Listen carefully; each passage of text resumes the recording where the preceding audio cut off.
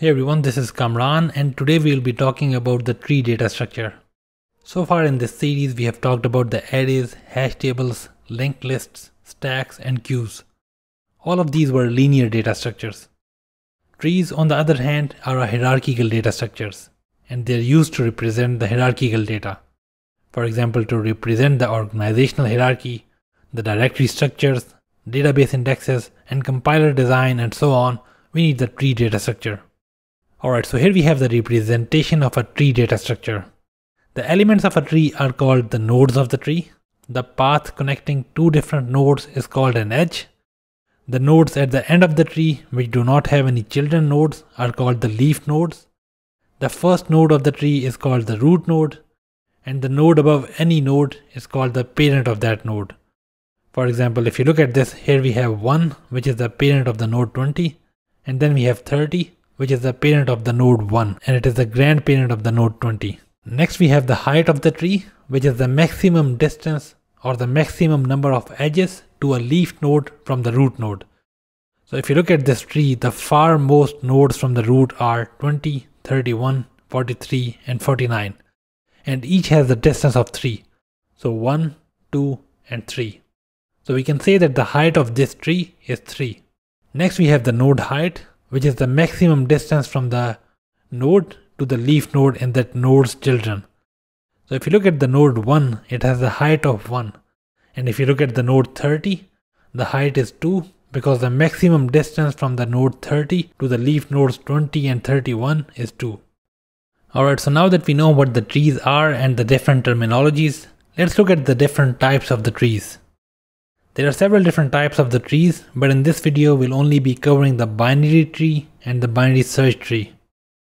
First of all we have the binary tree, which is the type of tree in which the maximum children a node can have is 2.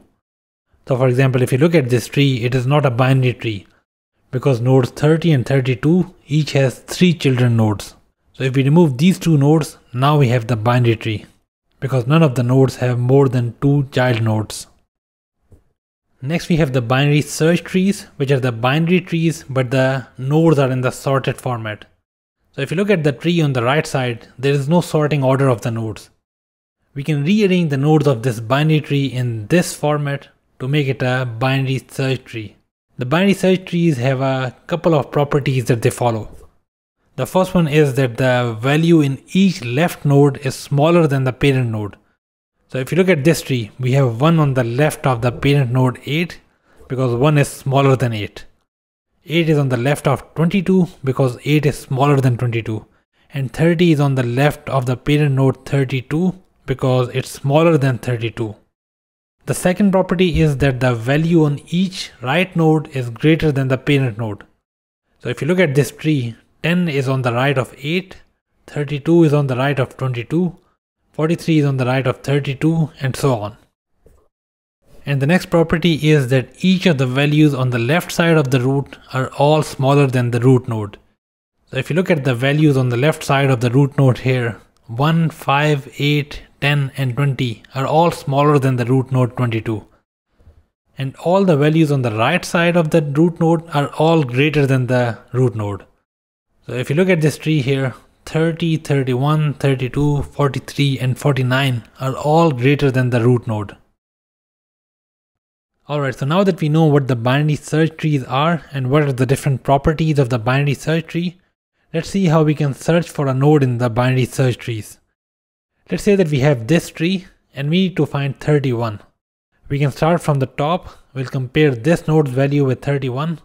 31 is greater than 22, so we'll move to the right side of the tree. Next we have 32. Now 31 is smaller than 32, so we'll move to the left node.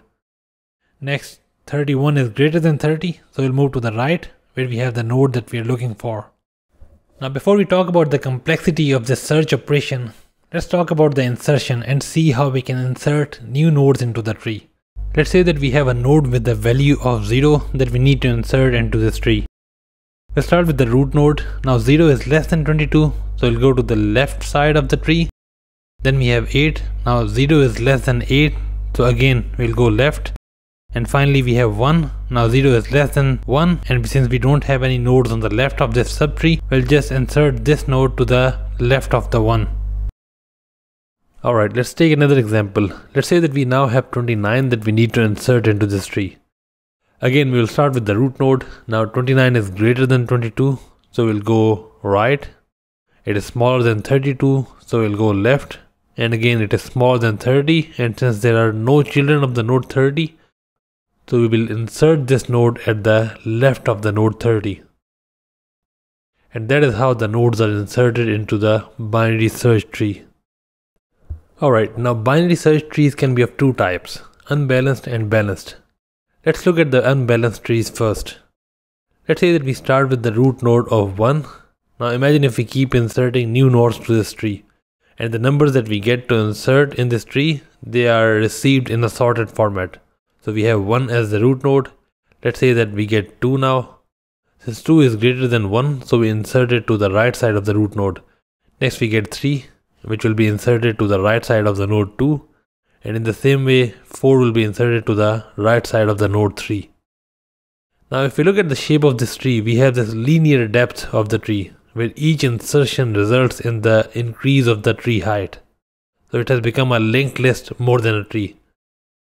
This sort of tree is called an unbalanced tree. Insert and search operations become really slow in the unbalanced trees and the complexity of these operations is linear, so O of n. And the second type is the balanced trees. In the balanced trees, we avoid this linear depth of the tree. And how do we do that? So whenever we insert a new node to the tree, we rearrange the tree in such a way that the number of nodes on left of the tree is equal to the number of nodes on the right side of the tree.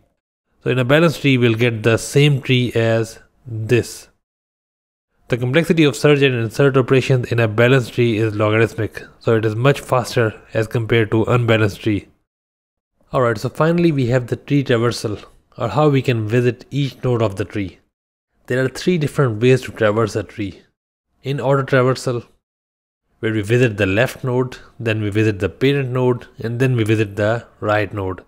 So if we have this tree, we will visit left, that is 1, use the value, then visit 2, that is root, use the value, and finally we will visit the right node, that is 3. So we will get 1, 2, and 3.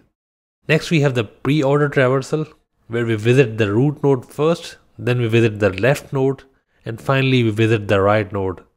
So if we have this tree, we will get 2, then we'll get 1, and finally we will get 3. And lastly, we have the post order traversal, where we visit the left node, then the right node, and then the root node.